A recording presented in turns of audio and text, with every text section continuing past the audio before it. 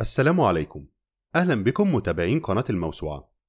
كلمة أوروبا بترجع لاسم أوروبا ابنة مدينة صور في لبنان وبتقول الأساطير الإغريقية إن التسمية بترجع لكلمة إرب الفينيقية اللي معناها غروب الشمس الأميرة الفينيقية. ودي اللي حبها زيوس وبقت أشهر عاشقاته وسمى مملكته اللي هي القارة الأوروبية باسمها. والقارة الأوروبية بتعتبر مركز هام للثقافة والاقتصاد حاليا. ولما نيجي نتكلم عن أوروبا النهاردة وهي طبعا من أرقى الأماكن في العالم وكل الناس بتتكلم عن نظافتها ونظامها والتقدم اللي هم فيه لكن أوروبا دلوقتي ملهاش أي علاقة بأوروبا اللي كانت في العصور الوسطى أو حتى اللي كانت في القرن ال19 والأوروبا اللي بنشوفه دلوقتي الأنيق والنضيف ملوش أي علاقة برضه بالأوروبا اللي كان عايش قبل كده في أوروبا.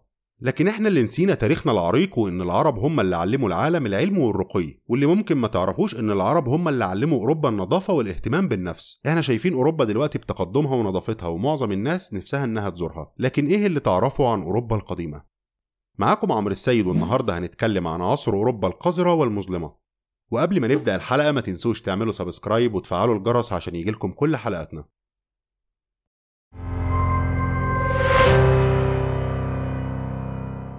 كانوا الأوروبيين في نهاية القرن ال19 بيغتسلوا بس لما بيمرضوا أو لما يكونوا على وشك الزواج. ورغم إن الأمر ده بيصعب تصديقه النهارده الا إنه كان حقيقة مرة خلال الفترة اللي فاتت في القرن ال19 واللي قبله. وكانت الفكرة الشائعة في القرن ال18 كانت هي إن الإنسان بيستحم مرة واحدة في حياته. وكانت الأحصنة اللي بيركبوها الناس فكانت بتترش بالمساحيق وما كانتش بتغتسل بالمية والصابون. وكان في كتير من الناس مع بداية القرن العشرين ولما بدأت العادات الأوروبية في النظافة تتغير للأفضل ما كانوش بيصدقوا إن الأوروبيين كانوا على قدر كبير قوي كده من القذارة اللي كانت لدرجة مقززة. وده باستثناء فترة معينة من التاريخ الروماني وباستثناء طبعا العادات الشرقية في الاستحمام.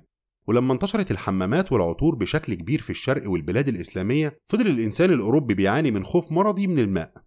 شوارع أوروبا اللي بنشوفها النهاردة في غاية الجمال والنظافة والنظام كانت أشبه وأقذر بكتير من مجال الصرف الصحي. كانت شوارع أوروبا مليانة بفضلات الإنسان. عشان ما كانش عندهم مراحيض وكانت المراحيض محرمة وبيعتبروها خطيئة. فكانوا الناس بيعملوا كده في الشوارع بدون أي حرج. واللي أسوأ من كده لما كان الجزارين بيقوموا بذبح الحيوانات في الشوارع وبيختلط الدماء بفضلات الإنسان.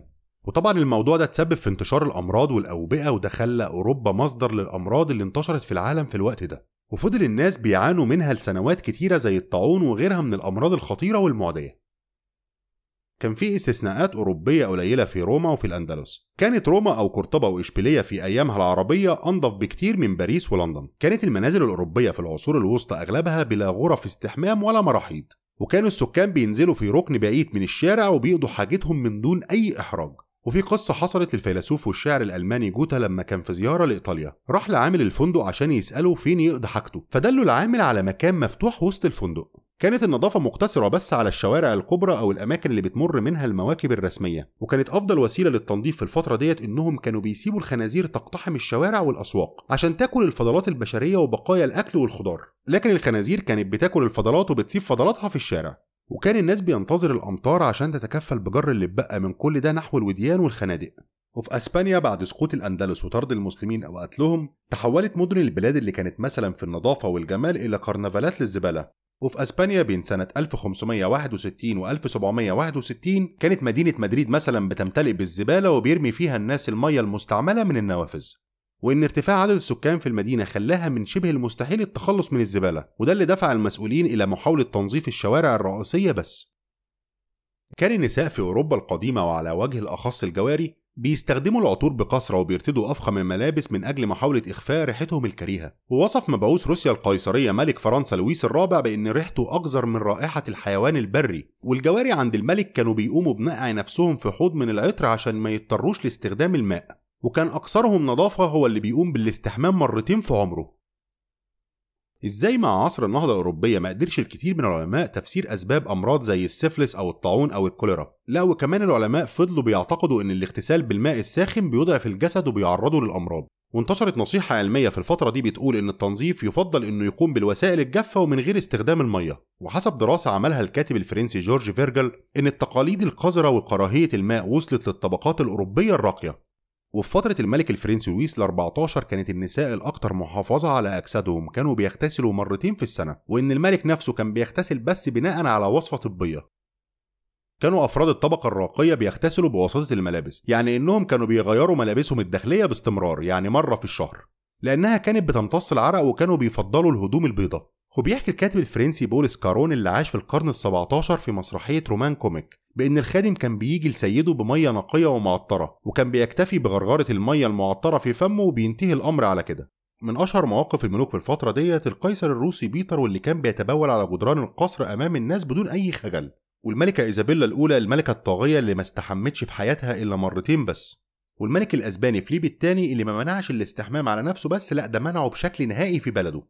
والملكة إيزابيلا الثانية ابنة الملك فيليب الثاني اللي أقسمت إنها مش هتغير ملابسها الداخلية إلا لما تنتهي من حصار واحدة من المدن، والغريب إن الحصار استمر لثلاث سنوات وفضلت محافظة على قسمها وما غيرتش ملابسها لحد ما ماتت بسبب الموضوع ده.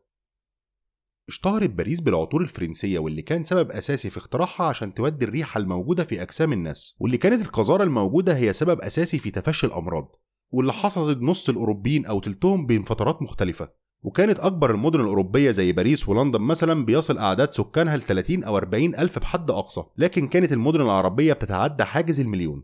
وكانوا الهنود الحمر بيحطوا الورد في أنفهم لما قابلوا الغزاة الأوروبيين وده بسبب ريحتهم اللي كانت لا تطاق. بيقول المؤرخ الفرنسي ديريبار إن الأوروبيين مديونين للعرب بالحصول على أسباب الرفاهية في حياتهم العامة. وإن المسلمين علموهم إزاي يحافظوا على نظافة جسمهم وكانوا المسلمين عكس الأوروبيين اللي ما كانوش بيغيروا ملابسهم إلا بعد ما بتتسخ وبتفوح منها روائح كريهة. وقال كمان بدأنا نقلدهم في خلع ملابسنا وغسلها. وكان المسلمين بيلبسوا الملابس النظيفة الزاهية وكمان كان بعضهم بيزينها. وفي القرن 19 بدأت عدد من مدن أوروبا استعمال وسائل خاصة من أجل عزل المياه المستعملة عن مياه الشرب. وفي إنجلترا بدأت المراحيض تنتشر بشكل كبير وعليها عبارة WC وبدأ الأوروبيين ينظموا معارض ومؤتمرات حول آخر وسائل النظافة وإن من الممكن الوقاية ضد عدد كبير من الأمراض بوسائل بسيطة زي غسل الإيد قبل الأكل أو بعد الخروج من المرحاض. وبعد كده أصبح الصابون صديق للأوروبيين بعد ما كان واحد من أعداء الجسد. وفي سنة 1869 اكتشف العالم الاسكتلندي جوزيف ليستر وسائل التعقيم ودورها في الحد من الموت بعد العمليات الجراحية. وده اللي دفع الأطباء طبعا للاقتناع في النهاية بأن المية ما بتضرش أبدا بالصحة. لكن رغم كل ده فضل بعض الخوف من المية في أوروبا حتى بداية القرن العشرين وخصوصا بين أفراد الطبقات الشعبية وفي القرى والمناطق المعزولة. لكن مع مرور الأيام والسنوات اتحولت أوروبا من قرية قذرة بيرمي فيها الناس جثث موتاهم وفضلاتهم من النوافذ إلى قارة مشتعلة بالنظافة. القرون المظلمة بتشير لفترات في التاريخ الأوروبي انتشر فيها الجهل والخرافات ودي فترة تميزت بانتشار الجهل الفكري وانتهاء الحياة المدنية والتعصب والهوس الديني والحروب والصراعات. عصور الظلام في أوروبا هي الجزء الأول من العصور الوسطى اللي امتدت من سقوط الإمبراطورية الرومانية الغربية ولحد سقوط الإمبراطورية الرومانية الشرقية على إيد الأتراك. ولأن الفترة دي طويلة من الزمن مش سهل معرفة إمتى بالظبط ابتدت وانتهت. والمؤرخ إدوارد جيبون سمى الفترة دي ألف سنة من الهمجية والدين. في فترة عصور الظلام انحدر مستوى التفكير في أوروبا وأخذ الإيمان بالغيبيات مكان التفكير العلمي والمنطق السليم وبقت الثقافة واقفة على رجال الدين بس. وبقى هم اللي يحددوا إزاي الناس تفكر وتعيش وفي إيه يفكروا وعشان إيه يعيشوا وحتى بأي لغة يكتبوا. واللي كان بيخرج عن الخط اللي رسموه رجال الدين وأتباعهم كان بيتهموهم بالكفر وبيسوقوا سمعتهم وبيعملوا لهم محاكمات وبيعذبوهم. انحدرت الثقافة في الفترة دي وانتشر التخلف وبقت الناس بدل ما تفكر في تحسين معيشتهم وفهم الدنيا اللي عايشين فيها بيفكروا في مواضيع عقيمة وغيبيات عبثية زي قيمة أرقام معينة وأثرها على الناس. وعدد الملائكة ومكان الروح في الجسد وحاجات عبثية كتيرة زي كده بتعبر عن انحدار فكري وركود ذهني. وبدل ما الناس بتفكر في العلم والمعرفة بقت بتفكر في السحر وطرد العفاريت العدو الأول للإنسان اللي ملوش شغلانة إلا وزه على فعل الشر وأذيته هو واللي حواليه. وانتشر اتهام الناس والنساء بالذات بالسحر وكانت اللي يثبت عليها إنها ساحرة بيتقبض عليها وتتحرق. ورجال الدين طبعا تفانوا في تجارب التعرف على الساحرات. وطبعا الضحايا كان منهم كتير مجرد ناس قالوا حاجة مش على هوا رجال الدين وأبحهم. أو فكروا في حاجة تخدم المجتمع فكان لازم يتحاكموا ويتبهدلوا ويتذلوا ويتقتلوا عشان الوضع يفضل زي ما هو ويبقوا عبرة لغيرهم من الناس. عقول الناس وبعدهم عن التفكير الحر المنطقي ما كانش كله بيتم عن طريق الحجر المباشر على الأفكار عن طريق رجال الدين. لكن كان في العادة عملية تلقائية نابعة من الإنسان نفسه. وده لأن الفترة دي في أوروبا كانت عقول الناس نفسها انحطت وبقى الجمود الفكري ده مزاجهم الثقافي العام. وإنسان عصور الظلام الأوروبي احاد التفكير ومتعصب دينيا معتدي على اللي يخالفه في الرأي.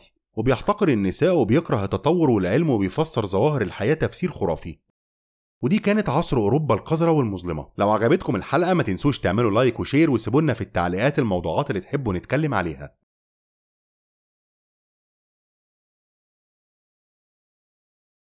لو انت لسه معايا ومتابع الفيديو لحد دلوقتي تبقى انت واحد من أهم المتابعين في القناة. فما تبخلش علينا بال like وال share. ونشوفكم الحلقة الجاية.